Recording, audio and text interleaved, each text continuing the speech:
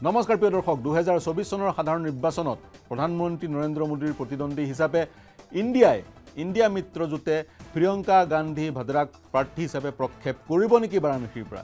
এনেধৰণৰ কথা বতৰাবোৰে কিন্তু সংবাদ শিৰোনাম দখল কৰিছে। উত্তৰ প্ৰদেশ কংগ্ৰেছৰ যিগৰাকী নৱনিৰ্বাচিত সভাপতি অজয় ৰায় তেওঁ এখন পত্ৰ হাইকমাণ্ডলৈ প্ৰেৰণ কৰাৰ পৰিকল্পনা কৰিছে যিখন পত্ৰত তেওঁ অনুৰোধ জনাব প্ৰিয়ংকা গান্ধীক বাৰাণসীৰ অহা অনাগত যি লোকসভা নিৰ্বাচন সেই নিৰ্বাচনৰ প্ৰাৰ্থী হিচাপে প্ৰক্ষেপ কৰাৰ।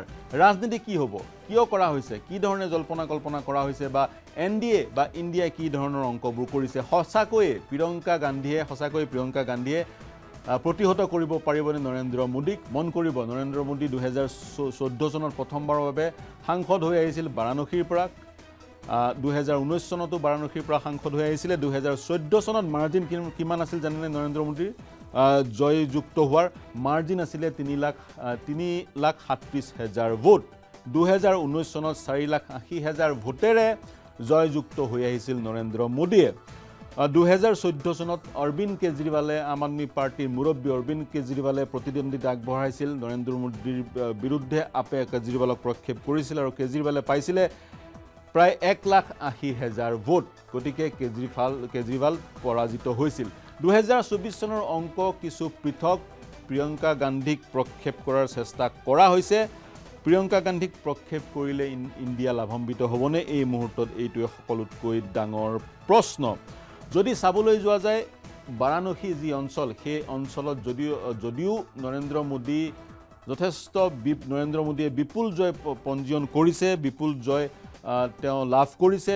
দুইটা সাধাৰণ নিৰ্বাচনতে কিন্তু বাৰাণসী হৈছে পূৰ্বাঞ্চলৰ এটা অংশ উত্তৰ প্ৰদেশৰ পূৰ্বাঞ্চলৰ এটা অংশ অৰ্থাৎ পূব উত্তৰ প্ৰদেশৰ এটা অংশ। আৰু পূব উত্তৰ প্ৰদেশত কিন্তু দুহেজাৰ ঊনৈছ চনৰ লোকসভা নিৰ্বাচনেই হওক হওক বা দুহেজাৰ বাইছ চনৰ উত্তৰ প্ৰদেশৰ বিধানসভা নিৰ্বাচনেই হওক দুইটা নিৰ্বাচনতে কিন্তু পূৰ্বাঞ্চলে ভাল ফলাফল দেখুৱাব পৰা নাই। দুহেজাৰ ঊনৈছ চনত যি মহাগঠবন্ধন হৈছিলে S P B S P আৰু আৰ এল ডিৰ সেই মহাগঠবন্ধনে এই এলায়েন্সে ছখন আসন কাঢ়ি আনিছিলে বিজেপিৰ পৰা।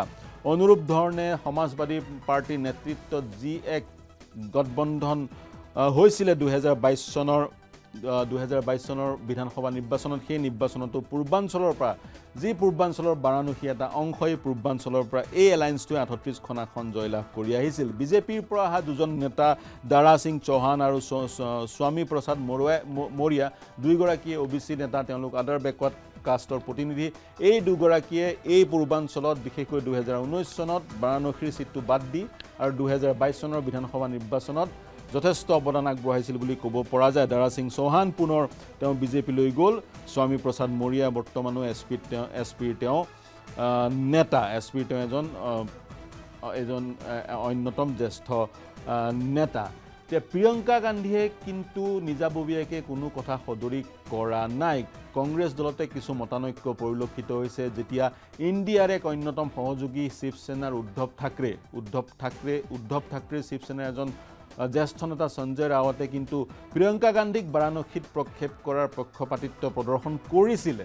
তেওঁ কৈছিলে প্ৰিয়ংকা গান্ধীয়ে উত্তম কেণ্ডিডেট উত্তম প্ৰাৰ্থী নৰেন্দ্ৰ মোদীৰ বিপক্ষে কিন্তু কংগ্ৰেছৰ মাজতে কিছু মতানৈক্যৰ সৃষ্টি হৈছে।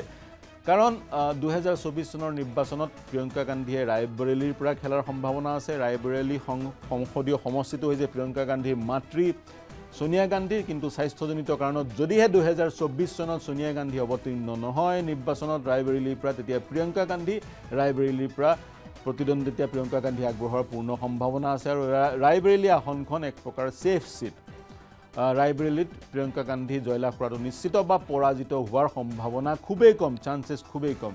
আৰু যদিহে ৰাহুল গান্ধীয়ে কেৱল ৱেৰনাৰ্ড কেৰেলাৰ ৱেৰনাৰ্ড সমষ্টিতে নিজৰ প্ৰতিদ্বন্দ্বিতা আগবঢ়ায় তেতিয়া এমিঠি আসনখনৰ পৰা প্ৰিয়ংকা গান্ধীয়ে প্ৰতিদ্বন্দ্বিতা কৰাৰ পূৰ্ণ সম্ভাৱনা আছে। প্ৰিয়ংকা এমেঠি আসনখনত কংগ্ৰেছে যদিও পৰাজিত হৈছিল যোৱাবাৰ পৰাজিত হৈছিল স্মৃতি ইৰাণীয়ে ৰাহুল গান্ধীক পৰাজিত কৰিছিল যদিও পৰাজিত কৰিছিল কিছুসংখ্যক কিন্তু বাৰাণসীতকৈ কিছুসংখ্যক ছেফ কিছুসংখ্যক নিৰাপদ সেই আসনখন কংগ্ৰেছ বা প্ৰিয়ংকা গান্ধীৰ কাৰণে। আৰু যদিহে বাৰাণসীত প্ৰতিদ্বন্দ্বিতা কৰে আৰু বাৰাণসীত যদি পৰাজিত হয় প্ৰিয়ংকা গান্ধী তেতিয়া তেওঁৰ কেৰিয়াৰটোৱে সম্পূৰ্ণৰূপে নিঃশেষ হৈ যোৱাৰো সম্ভাৱনা আছে তেনেধৰণৰ শংকা প্ৰকাশ কৰা হৈছে। গতিকে কেৰিয়াৰটো আৰম্ভ নোহোৱাৰ আগতে যদি নিঃশেষ হৈ যায় তেতিয়া পৰৱৰ্তী সময়ত প্ৰিয়ংকা গান্ধীৰ পৰা যিসমূহ ৰাজনৈতিক লাভালাভ কংগ্ৰেছে উঠোৱাৰ সম্ভাৱনা আছিল সেই সম্ভাৱনাসমূহো সমাপ্ত হৈ যাব। আৰু যদিহে Priyanka Gandhi versus prime minister Narendra Modi হৈ যায় তেতিয়া বিজেপিয়ে ডাইনেষ্টি পলিটিক্সটোক ডাইনেষ্টি পলিটিক্সৰ ইছ্যুটোক খুব বেছিকৈ উত্থাপন কৰা বা প্ৰধানমন্ত্ৰী নৰেন্দ্ৰ মোদীয়ে বেছিকৈ উত্থাপন কৰাৰ এক স্ক'প পাই যাব অৱকাশ পাই যাব আৰু সেই ইছ্যুটো তেওঁলোকে বাৰম্বাৰ উঠোৱাৰ সম্ভাৱনা আছে যাৰ ফলত কংগ্ৰেছ লাভান্বিত নহ'ব পাৰে। কংগ্ৰেছে কিছু কংগ্ৰেছ কিছু বেকফুটত থকাৰ সম্ভাৱনা আছে। তাৰ লগতে আকৌ প্ৰিয়ংকা গান্ধী আজিৰ তাৰিখত এগৰাকী হাই প্ৰফাইল কেণ্ডিডেট প্ৰিয়ংকা গান্ধীয়ে কিন্তু ইলেক্ট্ৰলি নিজৰ পাৰফৰ্মেঞ্চ ভালকৈ দেখুৱাব পৰা নাই। প্ৰিয়ংকা গান্ধীৰ নেতৃত্বত উত্তৰ প্ৰদেশত যি নিৰ্বাচন অনুষ্ঠিত হৈছিল দুহেজাৰ বাইছ চনৰ বিধানসভাৰ সেই নিৰ্বাচনত কিন্তু কংগ্ৰেছৰ শোচনীয় কংগ্ৰেছে শোচনীয়ভাৱে পৰাজয় স্বীকাৰ কৰিবলগীয়া হৈছিল যাৰ ফলশ্ৰুতিত প্ৰিয়ংকা গান্ধীয়ে উত্তৰ প্ৰদেশৰ দায়িত্বৰ পৰা পদত্যাগ পত্ৰও দিছিলে অব্যাহতি বিচাৰিছিলে। আজিৰ তাৰিখত প্ৰিয়ংকা গান্ধী কংগ্ৰেছৰ জেনেৰেল ছেক্ৰেটেৰী তেনে ক্ষেত্ৰত প্ৰিয়ংকা গান্ধীয়ে নিজৰ ইলেক্টৰেল যিটো পাৰফৰ্মেঞ্চ সেই পাৰফৰ্মেঞ্চটো খুব ভালকৈ এতিয়ালৈকে দেখুৱাব পৰা নাই। যদিও প্ৰিয়ংকা গান্ধী এগৰাকী হাই প্ৰফাইল ষ্টাৰ কেণ্ডিডেট গতিকে যিহেতু তেওঁ ষ্টাৰ কেণ্ডিডেট যদিহে নৰেন্দ্ৰ মোদীৰ বিৰুদ্ধে প্ৰক্ষেপ কৰা যায় নৰেন্দ্ৰ মোদী সমগ্ৰ ভাৰতবৰ্ষত প্ৰচাৰ চলোৱাৰ যি প্ৰক্ৰিয়া সেই প্ৰক্ৰিয়াত তেওঁ সেই প্ৰক্ৰিয়াটো তেওঁৰ বাধাগ্ৰস্ত হ'ব পাৰে আৰু তেওঁ বাৰাণসীত তেওঁ নিৰ্বাচনী যি যি প্ৰচাৰ প্ৰক্ৰিয়া প্ৰচাৰৰ যি অভিযান সেই অভিযান বাৰাণসীতে কিছু সংখ্যক হ'লেও কিছু পৰিমাণে হ'লেও সীমিত হৈ থকাৰ সম্ভাৱনা আছে। বুলি একাংশ ৰাজনৈতিক বিশ্লেষকে ক'ব খোজে। গতিকে প্ৰিয়ংকা গান্ধীয়ে তেওঁৰ কি মন তেওঁ এতিয়াও সদৰি কৰা নাই। প্ৰিয়ংকা গান্ধীৰ জন্ম হৈছিল ঊনৈছশ বাসত্তৰ চনত। গতিকে প্ৰিয়ংকা গান্ধীৰ বয়স একাৱন্ন বছৰ। ৰাহুল গান্ধীতকৈ দুবছৰ সৰু ৰাহুল গান্ধীৰ ভগ্নী প্ৰিয়ংকা গান্ধীৰ চাইক'লজিত বেচেলৰ ডিগ্ৰী তেওঁ চাইক'লজিত বেচেলৰ ডিগ্ৰী আছে দেলহি বিশ্ববিদ্যালয় দিল্লী বিশ্ববিদ্যালয় জেছাচেন মেৰি কলেজৰ পৰা তেওঁ বি এ বি এ চাইক'লজিত বি এ কৰিছে। তাৰপিছত তেওঁ দেলহি ইউনিভাৰ্চিটিৰ পৰা দুহেজাৰ দহ চনত Buddhist Buddhist ষ্টাডিজত post graduation post graduation degree গ্ৰহণ কৰিছিল। পূৰ্বতে তেওঁলোকক বিশেষকৈ ৰাজীৱ গান্ধী পিতৃ মৃত্যুৰ পিছৰ পৰা পিছৰ পৰা এছ পি জি প্ৰটেকশ্যন দিয়া হৈছিল। কিন্তু কিছুদিনৰ আগতে তেওঁক পৰা যি এছ পি জি প্ৰটেকশ্যন সেই প্ৰটেকশ্যন প্ৰত্যাহাৰ কৰা হৈছে।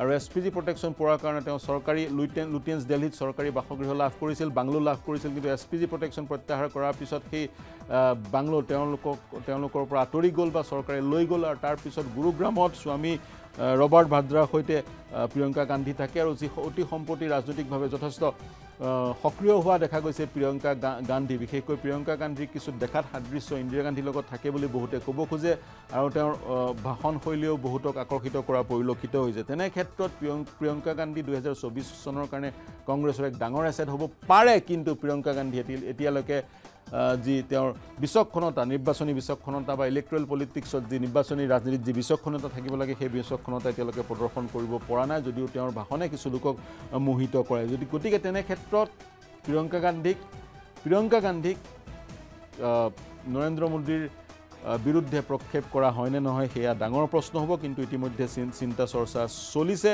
মোদীক প্ৰতিহত কৰাটো ইমান সহজ কথা নহয় কাৰণ দুহেজাৰ ঊনৈছ চনত চৌষষ্ঠি শতাংশ ভোট মোদীয়ে লাভ কৰিছিল। নৰেন্দ্ৰ মোদীয়ে sixty four percent.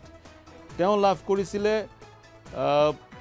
Sixty four percent vote লাভ কৰিছিলে আৰু লাভ কৰি তেওঁ জয়যুক্ত হৈছিল। গতিকে তেনে ক্ষেত্ৰত এই যি কংগ্ৰেছৰ যি পৰিকল্পনা সেই পৰিকল্পনাত কংগ্ৰেছ কিমান আগবাঢ়ি যাব পাৰে সেয়া লক্ষণীয় হ'ব।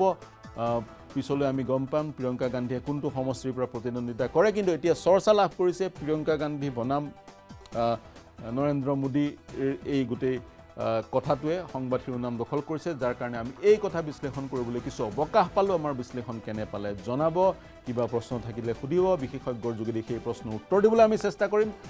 আৰু আমাক আমাৰ যিসমূহ বিশ্লেষণ এই বিশ্লেষণসমূহ চাই থাকিব ইউটিউব আৰু ফেচবুকত মন্তব্য কৰি থাকিব।